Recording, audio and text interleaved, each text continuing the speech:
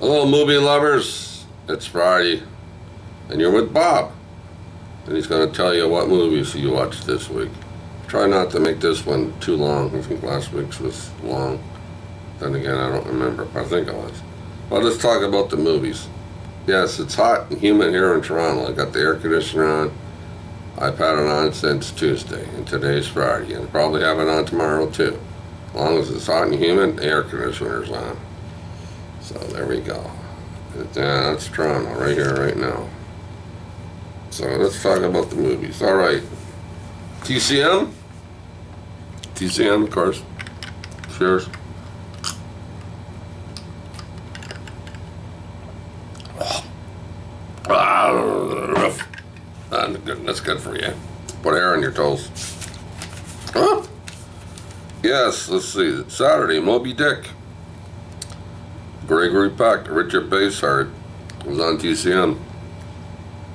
Captain, Captain, Captain, Captain Ahab goes looking for a big whale. And he finds him. Yeah. Not a bad movie. I gave it a 7. Everybody knows Moby Dick.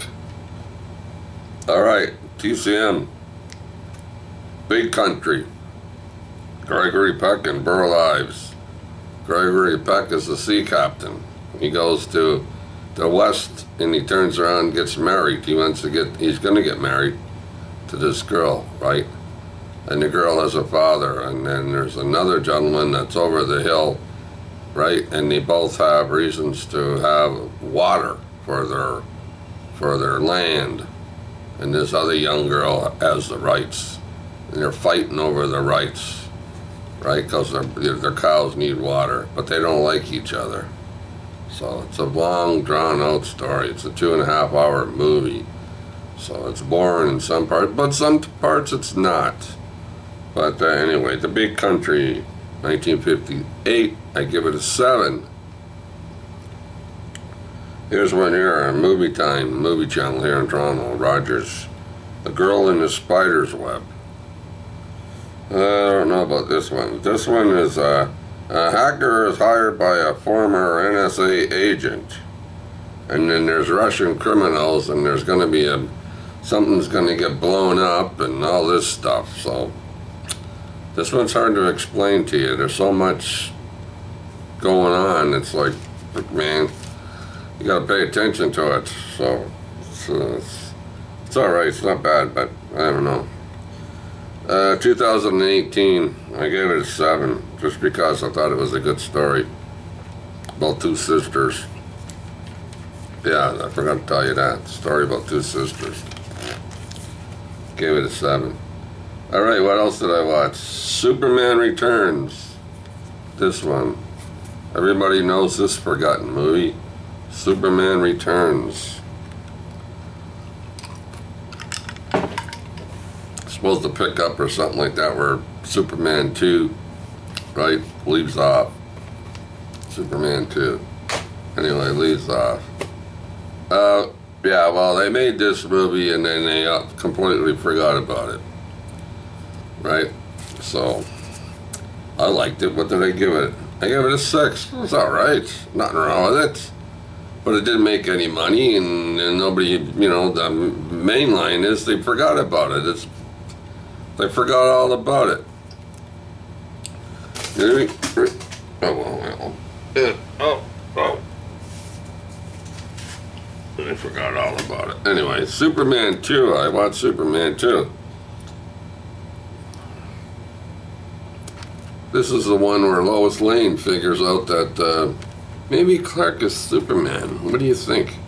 Take his glasses off, you look on him sideways, he looks a little bit like Superman. So Superman and Lois Lane fall in love, which Lois Lane always loved Superman. So Superman gets the bright idea, yeah, him and Lois Lane will get together. He'll denounce his powers. He goes in, in this little room, turns a button on. Powers gone. So him and Lois Lane get together in this big shaggy bed or or satin bed or Satan bed or satin bed and they have sex, right? Come on, they do. We know they do the nasty, right? They do. They, go, right, right, okay. So what happens? That's where we lean up to. This is where they get the bright idea to go up to this movie, right? He returns. Superman returns, right? And he's looking at the kid, Lois Lane's kid, right? And the kid's got the hair going down here, and he's got the little winky going on here, and Superman, you know, uh, he's starting to look at him, kind of look at him a little strange looking, like uh, the manners of uh, Clark Kent. He's, I'm uh, anyway, can you imagine? Let's go back to Superman 2, right? End of the movie. Everybody gets all upset, and Lois Lane, this, and Lois Lane's crying, and Clark comes back in, and uh, he's got his powers back now, of course, but uh, yeah, he gives Lois Lane a kiss. Yeah, he kisses her. Yeah, scratch on my leg. Where'd that come from? Anyway, Lo- he gives Lois Lane a kiss. We all know that. At the end of the movie, right? This movie, Superman, we can remember. Haven't watched it in years. So he gives Lo- Lois Lane a kiss. She forgets everything. She's back to being Lois Lane, right? But now she's forgotten that she's pregnant, more than likely, and she's going to have a kid. And when she wakes up to the fact, goes, think, who the hell did I have sex with? How did I do? How did I have a baby? I don't remember having sex with anybody. You gotta have sex to have a baby, I think, or you know what I mean. You know what I'm talking about, right? So here we are, years later. Yeah, and you end up with uh, Superman Returns, and nobody, everybody's forgotten this movie. So here's poor Lois Lane, all these years later, has a baby, and doesn't even know. She's who doesn't know who the father is. What a life to go through here, right? But hey, but when you think about it, it's just a movie, right? They figure we're all stupid and we, we won't bother. We'll, we're just a bunch of dummies watching movies, right? Which, you know, that's what they think. Don't mention Superman. Don't mention this movie. All right, bullshit, okay?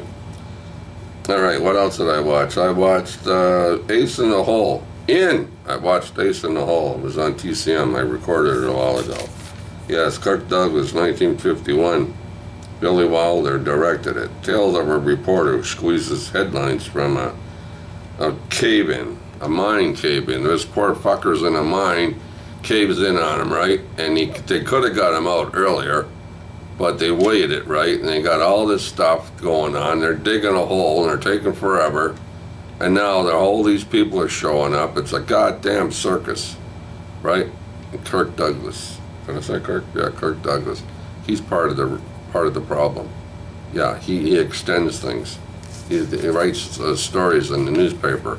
Everybody's buying newspapers. Everybody's showing up. Now there's a carnival there. There's rides. There's horsey rides.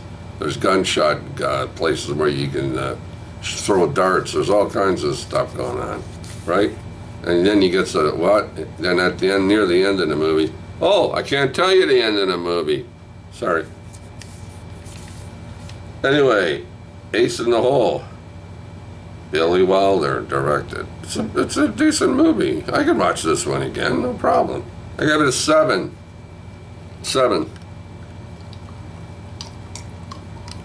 All right, let's move this along. Yeah, I already talked about Superman too, didn't I? Yeah, bullshit. Yeah, right. Let's talk about Batman and the Penguin. Number two in the series. Batman and Penguin Returns. Batman Returns, I should say, not the Penguin. He never left.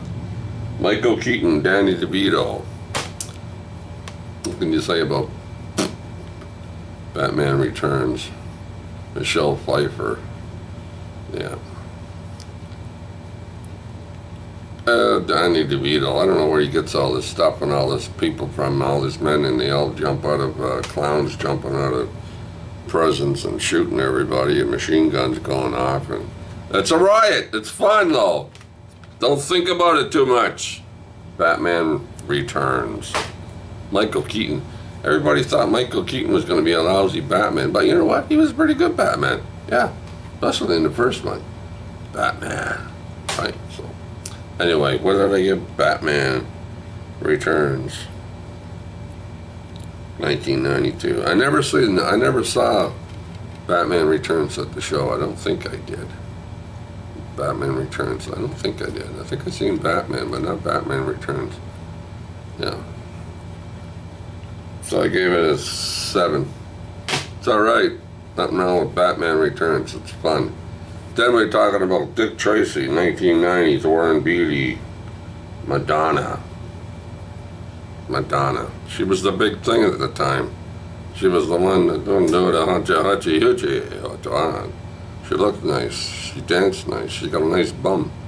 Anyway, I think that in 1990, when they made this movie, you pretty well had a, you had to have at least a little bit of a clue, right, to who Dick Tracy was, right? I mean, he was back in the comics from comic strips. When did he start? Early 30s? Uh, let's say early 30s. This is in the comic book strips, right in the paper, Sunday papers, and through the week, I guess, or whatever. I got some of his strips in the bedroom. I got a big book over there full of Dick Tracy strips, strips, newspaper strips. But he's the guy that talks through his wristwatch, right? You know, stuff. And the movie was bright. It had lovely colors, red and purples and yellows and greens and pretty good movie. And all the regular characters, probably nobody knew the hell, who the hell they were, but they're in the movie too. And they were fun, right? Flat top, big top, little Tom and uh, Sponge Face and whatever, I don't know, whatever, whatever. So they were all in it. A lot of people in the movie, lots of actors playing these parts. The only problem is sometimes you didn't know where they were because they were all made up with ma- makeup. But anyway, it's fine. Dick Tracy, I gave it a 7, 1990.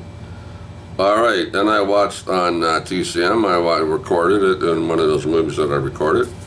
Because I record stuff, right? Don't watch them the same day, so you record shit. You, you, all, you all do that. The Blue Lagoon. The Blue Lagoon.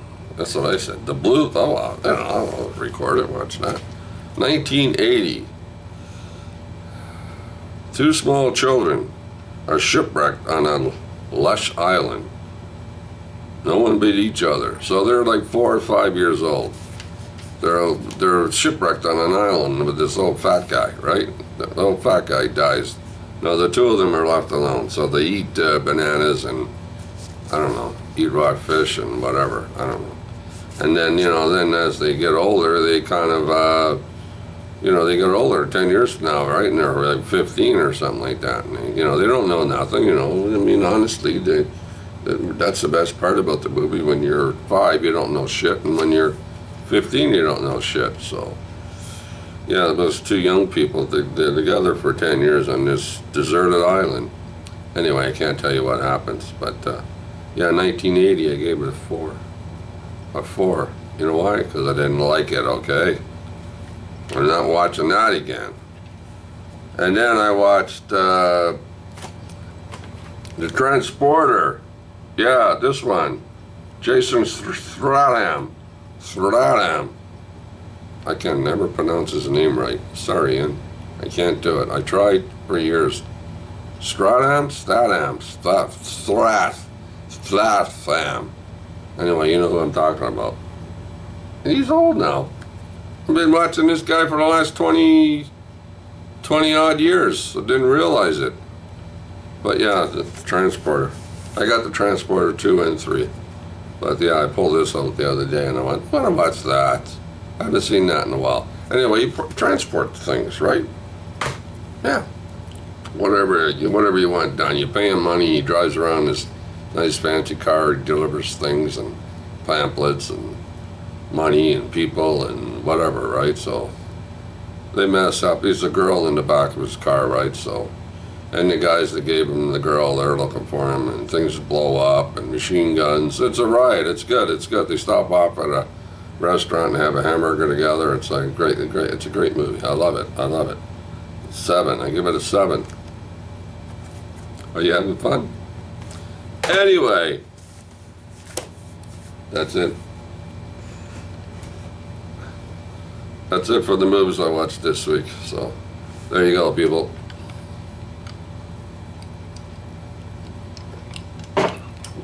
Like I said, it's hot and humid here. Probably for the next few days too, I think. Well, what the hell, eh? Yeah, I watched a movie on uh, YouTube this morning. Mentioned uh, talking about Ian the other day, and he says uh, he's talking about Edward G. Robinson, right? So yeah, I watched that movie. Red House, it's called. Tried to find it. It's on a, it's on Amazon with another movie, but it's a third party, and I was looking at it, but I, but I watched it today. Ian told me it was on TCM, so I watched that, right? That's today, of course, today's Friday, right? So that won't be on the list until next week. And there's a couple other movies I watched, and uh, they won't be on the list until next week. So bear with me. I'll be back next Friday and talk, talk tell you about the movies I watched this week. No reviews. It's not a review channel. I don't review movies. I just tell you what I watched. Yeah, so there you go. Don't forget, keep watching the movies and give your mom a hug.